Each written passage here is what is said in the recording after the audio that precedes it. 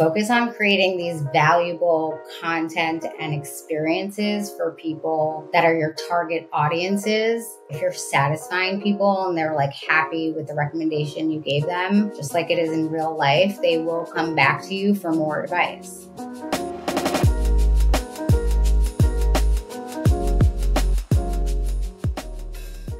Today, I speak with Jaimie Clark about the evolution of Google as a consumer product. As you know, Google's the dominant way that consumers discover most brands. And so we talk about what is most important for websites today in having them show up in Google and uh, the search engine optimization game. Uh, in my weekly chat with Marty Beckerman, which is our first segment, he's the editor in chief of the B newsletter. We discuss how Old Spice moved from Grandpa's brand to a cool brand, the importance of physical fitness in business performance, and personal loyalty with a shout out to Jerry Maguire.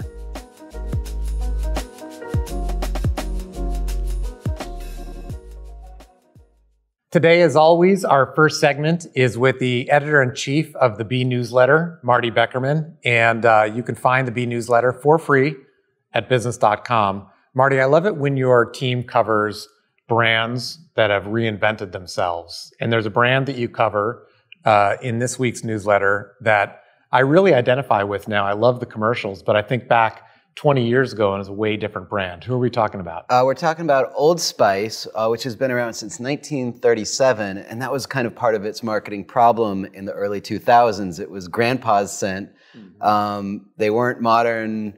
Their marketing was very old school, and they were getting killed by Axe body spray at the time.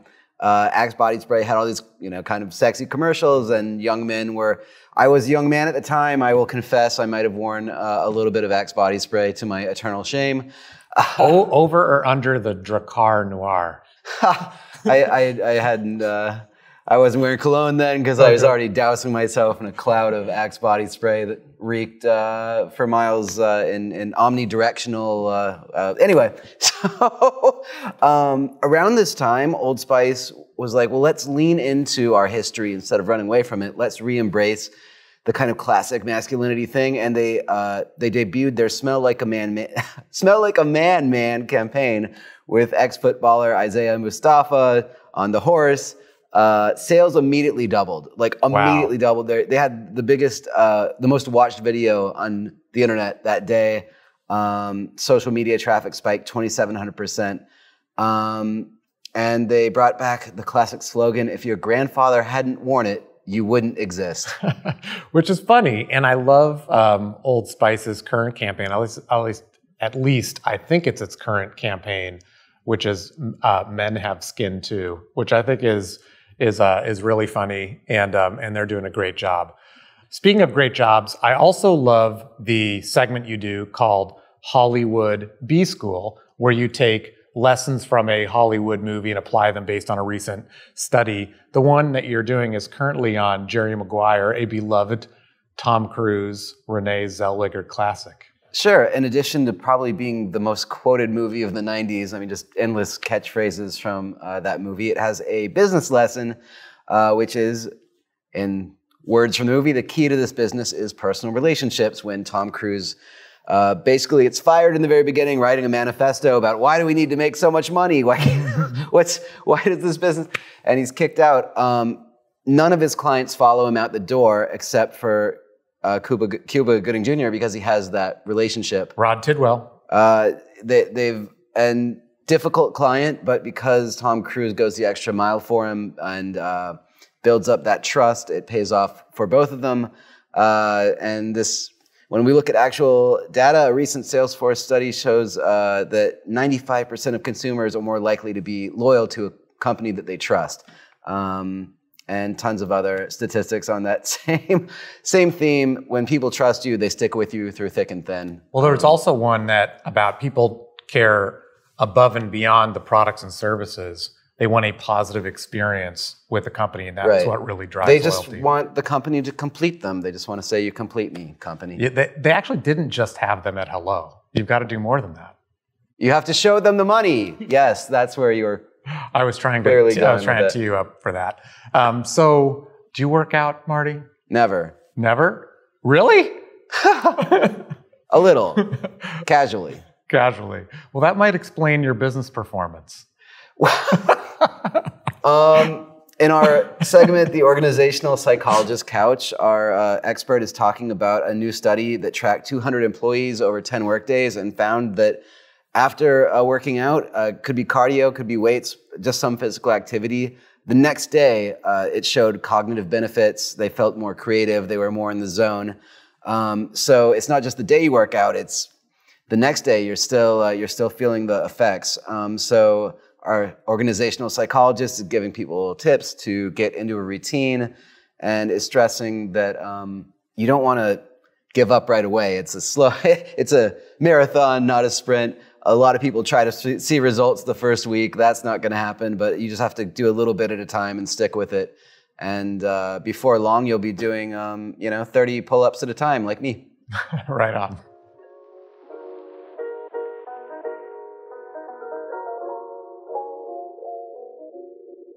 All right, we're talking about Google today with Jaimie Clark. Jaimie, how are you?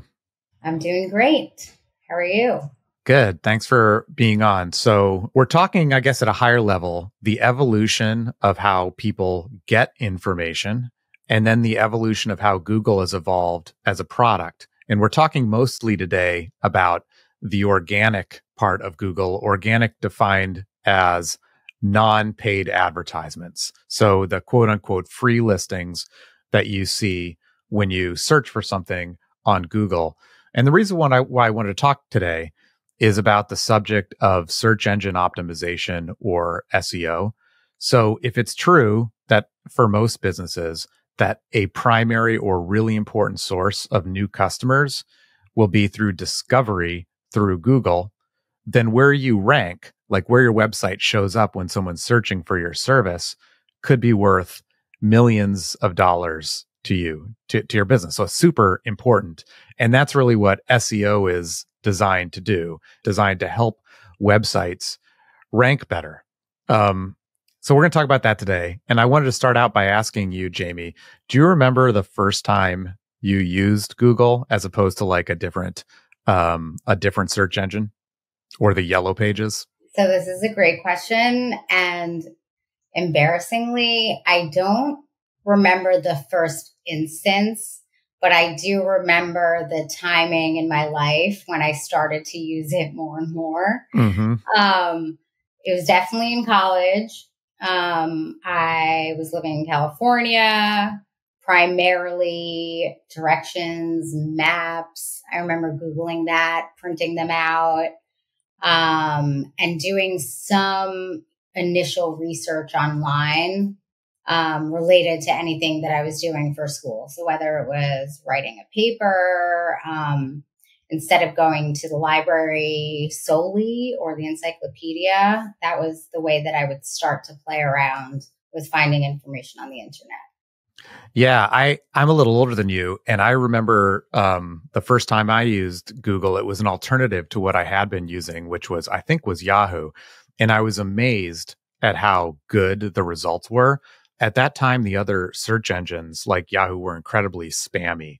Like um, if you searched for something on online like auto parts, the the website that showed up number one would be whatever website had the keyword auto parts in it more than any other any other page. Yeah. Yeah. It was all it was all kind of based on who used the keyword the most. That was right. really the first time that people tried to like quote unquote game um, a search engine that I can remember. And what Google did was was r- really interesting, which is it it looked at the websites linking to each page about a topic and ranking it based on how other websites voted, which was really really interesting at, at the time. Yeah, I think the the part where they built their algorithm or the backbone on links and and authority or votes by way of links is just how it started and definitely has gotten stronger and stronger and is not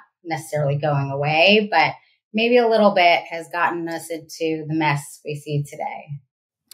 Yeah, yeah, you're right because once once um a business understands if votes for my website are important, you might shift your thinking into how do I get more votes? how do I get yeah. more sites to link to me rather than rather than thinking through um, how can I convey, how can my website convey my products or services better? Because you might start focusing on on just how do I kind of game that system.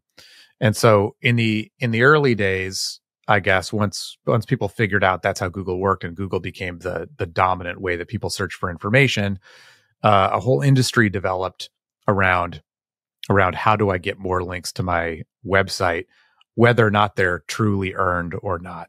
Do you remember some of those early early ways where where people would try to spam Google? and oh do you remember God, any, any yes. tactics?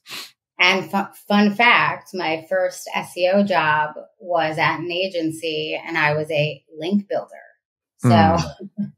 literally spent more than 40 hours a week doing things like scanning directory websites, submitting directory submissions, um, all of these aggregators, bookmarking tools. Like remember Digg? There was literally oh, yeah. a strategy for companies that we would employ to just get more bookmark links. Um, so it's definitely looking back, it was so easy. You just had to employ those tactics. Um, and you could be on top of search results and put your keywords in your title tag and you were good to go. Yeah. And so, um, so there was this formula, you know, whether it's 15 years ago, 10 years ago, what, whatever, that would uh, enable you to get more traffic from Google. And so um, Google responded. Uh, one way that they responded was to try to see if there was a pattern of building links that was un- unnatural, um, or or links that appeared fake or or, or th- things like that to sort of penalize websites for trying to trying to violate the spirit of what Google was trying to solve for.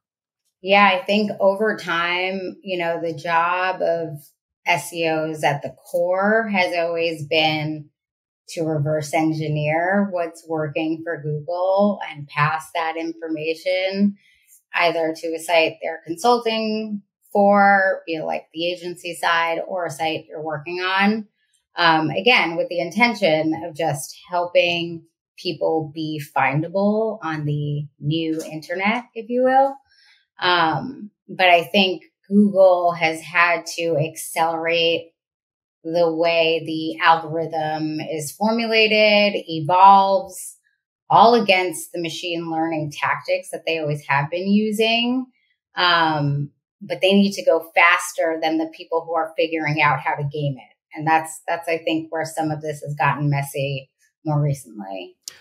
That that's true. It's really it's really hard. Um, I mean, oftentimes criticism is pointed at Google. We'll talk a little bit about that, but it's also um, you know the indus the industry that's trying to, I guess, gamify Google's algorithm. That's that's maybe the bigger problem. Uh, and let me segue that into Google's come under fire recently for its traditional listings, its organic listings, as being unhelpful or spammy. And what do you think is is fair about this criticism, and what do you think is unfair? And maybe at a higher level, what are what are people actually complaining about? Yeah, so I think if I could put it in a nutshell, people are really complaining about the quality and relevance of Google search results. Um, I think, like, particularly the point of contention, if you will, is the mismatch in what Google says they will reward um, and what is actually ranking. So I think if I had to step back and look at honestly, like what's fair about the criticism, probably the predominance of this SEO optimized content. Um, the prevalence of the spammy content as well is a very real thing. And third, I would say um, the increase in ads and the sponsored listings that are showing as well. Um, I think the the good example that you know everyone in the industry has passed around is that HouseFresh website that published the article like um, earlier this month, um, which is for those who don't know a very small website dedicated to testing, reviewing air purifiers and dehumidifiers. Um, so again, it's like the promise of the internet is that someone who's obsessed with air purifiers should be able to start a website, build a business around their obsession for air purifiers. Um, but it's simply just like not how it's playing out because these small, passionate outlets are getting somewhat steamrolled by the larger, more spammy operations out there, um, who definitely have questionable experience and expertise in like these very niche topics. But by way of um, the algorithms design today or, or pre March update, if you will, allowed them to ride on domain authority to get a foot in the game ahead of these these smaller websites that may not have by the numbers as much domain authority. Yeah, and let's define a couple of these couple of these terms. So when we talk about um, domain authority, this isn't this isn't a, a, a Google metric. It's yeah. kind of an, an industry metric to that that attempts to say how important or influential a website is based on the number of other websites that link to it. And so the number one websites probably Facebook and number two is Google and number three is is Microsoft and and and whatever. And, and things are ranked all from like one to, you know, one to 10 million. And the the idea is that um let's say the New York Times, the, the New York Times publishes an article about about dehumidifiers and reviews a couple of dehumidifiers because the New York Times is an important website. It's seeming to rank higher and more quickly than a website that might have devoted 10 or 20 years only on the subject of dehumidifiers and has the most maybe comprehensive information on it. By virtue of that, domain authority sort of outranking the other factors that might contribute exactly. to where someone shows up on on the site. Yeah, so it's it's um yeah, really a really interesting interesting thing. And I think I think Google um for those that don't know, every Google is is changing how it ranks things every day presumably, but um but every 3 or 4 months they announce that that they've dramatically changed their algorithm in some way. And they say why they've done it. And they um, they say what they're trying to solve for. So it's like it almost advice for webmasters i guess that's an old term right. but advice for people mm-hmm. that run run websites about what to do. So they've had several major updates in the last year including one that's being rolled out right now w- while we're talking. What's google trying to solve for? What's the spirit behind their latest update? So I think, you know, it's, it's important to say what's ne- might be unfair about the criticism is probably the complex nature of algorithms. Um, so I think the company is getting criticized for not always getting this right. Um, and not evolving fast enough, but these core updates generally are meant to course correct and better solve for that. Um, because again, they have to index and rank all of the information on the internet, which is billions and billions of pages. Um, so what are they trying to do with this specific core update that rolled out earlier this month? Um, I, I would bring it down to their trying to better live up to their promise to deliver the most relevant and reliable results. Um, more logistically the difference between this core update and previous ones or within this world of the helpful content updates that they've had um, over the past year and a half roughly this helpful content system was operating as a separate system alongside google's algorithms and it was pr- producing this like site-wide signal to identify content value but this update no longer keeps that as a separate entity. Um, so this is a more like multifaceted and nuanced approach where the variety of signals and systems come together um, at the page level versus site level to determine how helpful a page is or is not.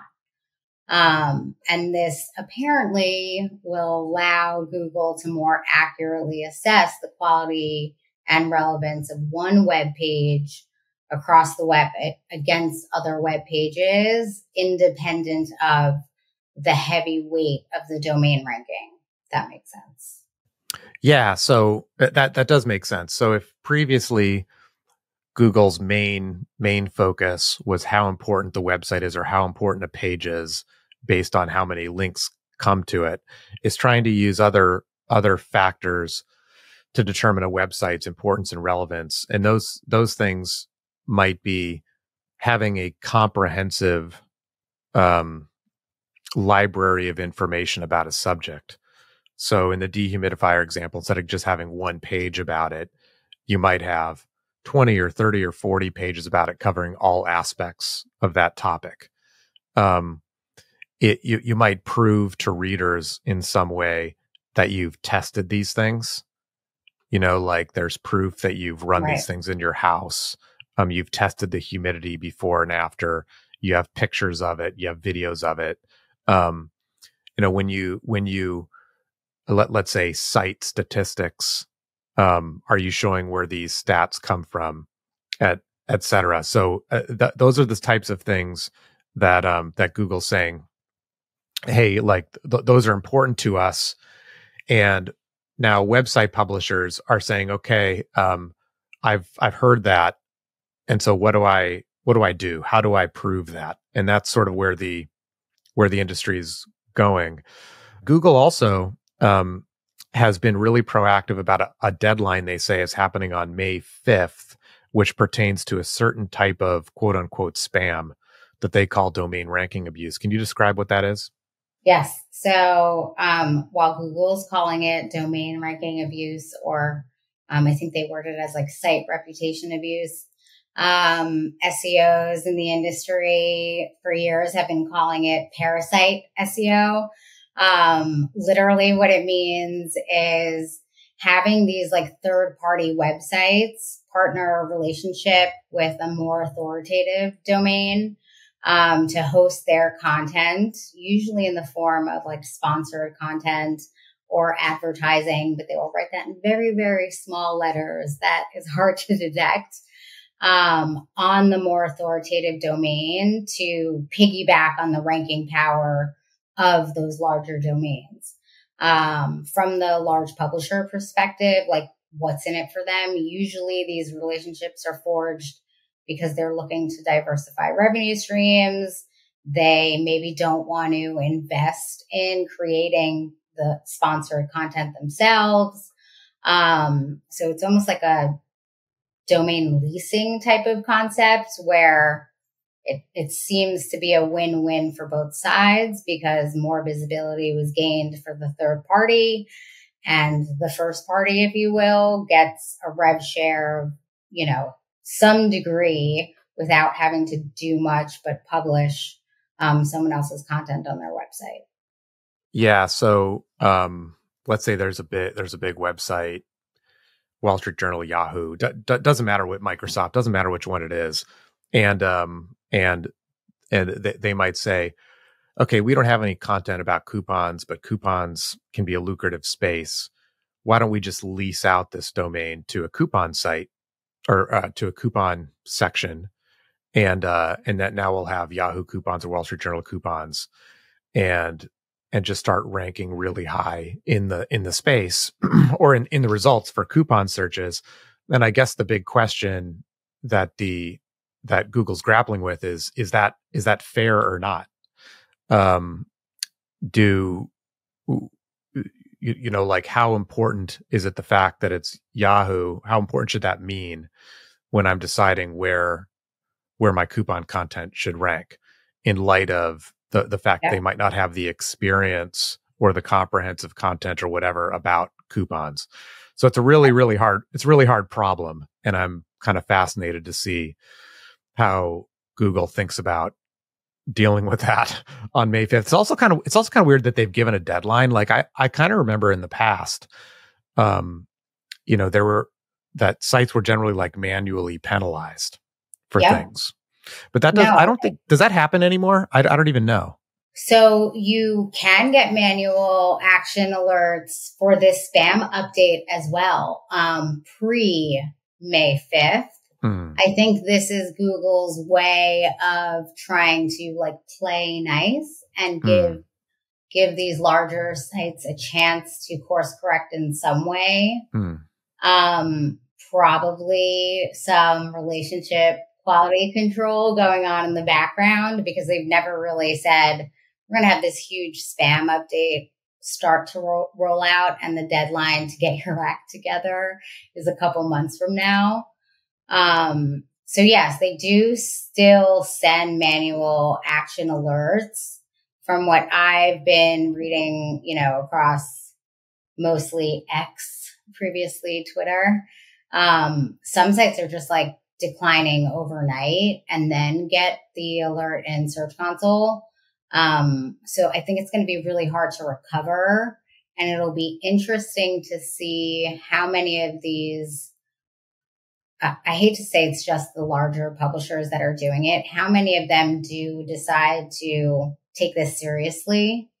Um, and to be, you know, transparent, they can keep the coupon section and just not allow it to be indexed by search. And they have mm. other ways of driving audience to it. That's just like one example. You don't literally have to remove it from your site.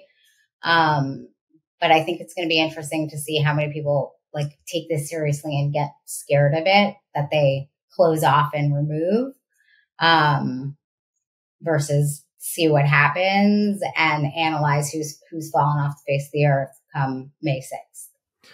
And I think I think Google's has always said and they've tried to solve for like we want to show what's best for the user and that's just really really hard to figure out.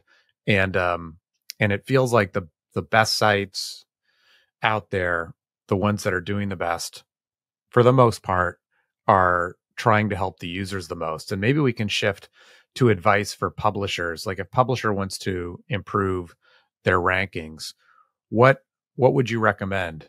I mean, I know you could go on for two hours about, yes, about this, but, what, but what, what are some of the what are some of the high level things that you'd recommend? Well, I think so. If you you know asked an SEO, how are these larger brands dominating in search results? They would say two things: domain authority and engagement. Um, generally, my you know recommendation would be focus on creating these valuable content and experiences for people that are your target audiences. Um, again, like the purpose is for you to be doing the legwork and making people's lives easier. Um, much of the strategy for New York Times was, you know, or like the long term play with standalone products was to make ourselves indispensable to people to where like you wake up in the morning and you're like, I'm, I'm going to cook something or I'm looking for that thing to buy or what to watch on TV. I have to go to the cooking section of the site. I have to go to Wirecutter because I depend on it for advice. Um, so how do you differentiate yourself to make yourself really a value add in someone's life? Um, discoverability through search is, is one huge thing. And as this ranking algorithm becomes more complicated, you'll have to do the bare minimum to be findable, but I don't think that's what like keeps the site up there necessarily. You have to have some value add. Um, and I think saving people time in some shape or form is a big piece of that. Um, and I think building relationships with people is another thing to keep in mind that if you're focusing on interaction, positive activity, both on site and off site, um, if you're satisfying people and they're like happy with the recommendation you gave them, just like it is in real life, they will come back to you for more advice. Um, so it, I know it seems simpler than it actually is, but I, I think sometimes people forget um, being as simple as like, I'm here to try to help people accomplish this goal, whether it's shopping, a product in their lives that actually makes things easier for whatever situation they're in.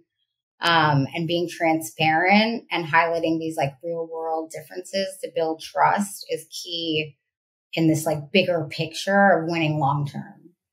I think that is such great advice and such important advice. And some of the stuff that was like that was like labeled um, SEO in in the past, you know, where do we put our keywords? Where uh, that that that kind of thing. Like that can't be the primary focus of a website in order to win.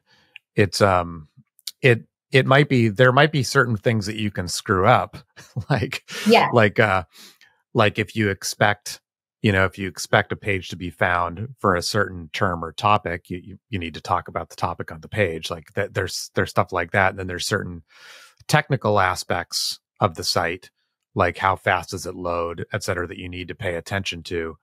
But um but the sites that i see that are are winning are being voted by users. They're coming back to the site or they're searching for the site specifically, um, or they're staying on the site longer and accomplishing their task. And it appears that Google is recognizing that and rewarding it in their algorithm.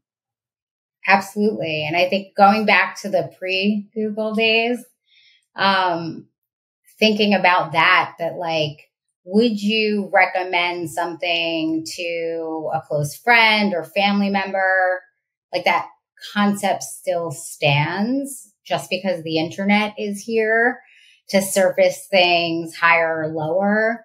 I think the real winners in search overall will always be the thing that someone is like, Oh my God, this was so amazing. It helped me so much. I have to tell you about it if you're looking for insight on that topic. Totally. And we started out this conversation saying we're going to talk about the evolution of how people get information, but we've sort of been talking about the present, not necessarily the future, as you and I have used ChatGPT, Bard, other tools a ton. And, it, you know, time will tell to be whether or not consumers adopt this as the primary source of looking for information, but it's certainly going to change things. Um, what's your what's your take on how it's going to change consumer behavior and then is there anything different that you'd recommend to publishers when they're they're thinking about being found through AI? Yeah, so I think uh, you know it's interesting how fast everything with AI has um, evolved in such a short amount of time. I mean, I know everything has been working in the background for a long time, but just everything that's been happening in the past year um, ha- has been really surprising given how long it took in comparison for other new technologies to pick up. Um, I think, you know, while the medium by which people get information or their questions get answered may change, like the need for finding relevant information generally is not going to go anywhere. I don't think we're at a place yet where overnight society is just going to like trust robots. Um, but you know, it's a very real thing that we need to pay attention to. And I don't doubt that if someone created a new technology tomorrow to port information directly into your brain, um, that there wouldn't be like a subset of people who would be like, we'll get on board. What do we have to do to get in there? Um, so in my mind, this is like a variation of just a new way to find information that isn't, it's too early to tell if, um, you know, our generation, older generation is going to like adopt this overnight. Um, and I don't think it's going to pick up as fast as we perceive it to be for the younger generation. I, I could be wrong.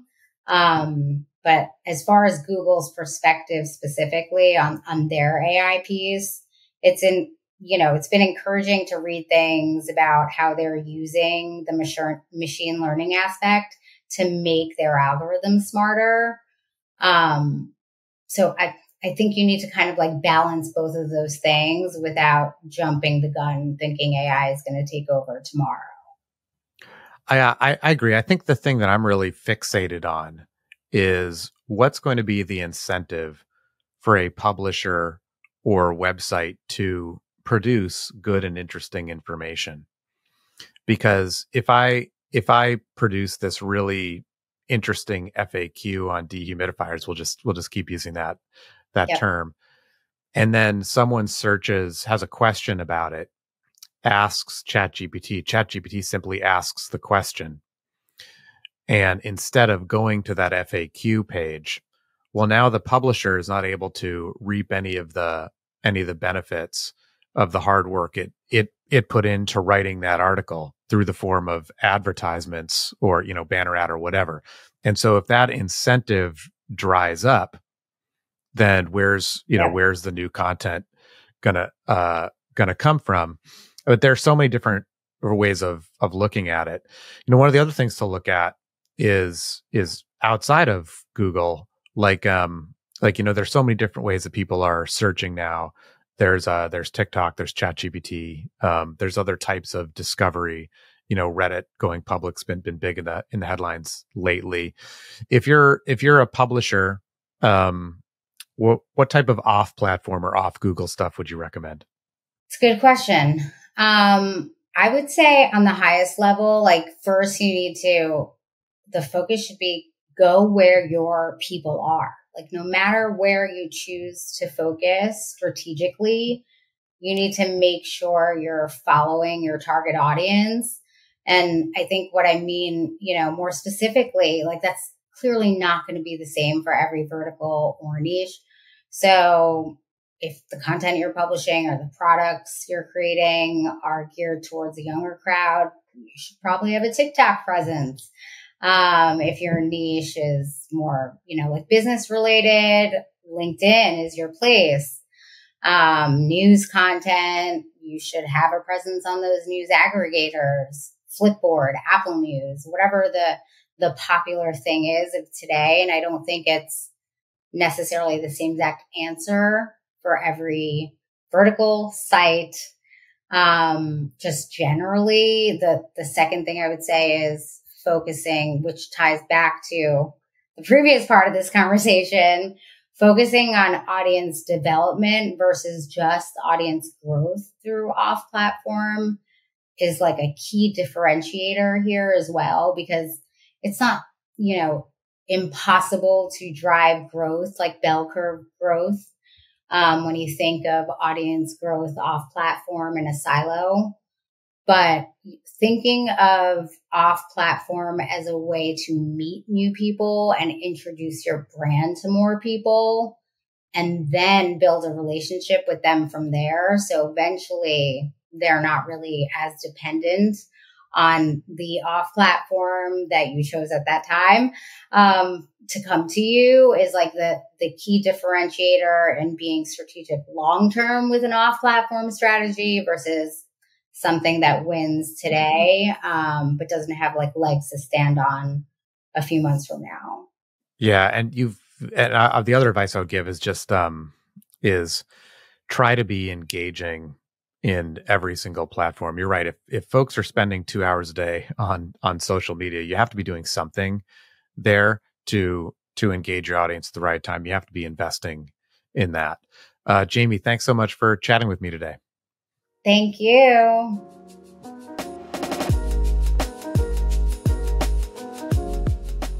Did you know that more than 20 million professionals and business owners visit business.com and Business News Daily? Why? It's the best place for resources, advice, and information about how to grow your business. And if your goal is to reach our audience, you should become one of our lead partners, sponsor a section of the site, or sponsor even this podcast. Reach us at business.com slash connect. That's business.com slash connect.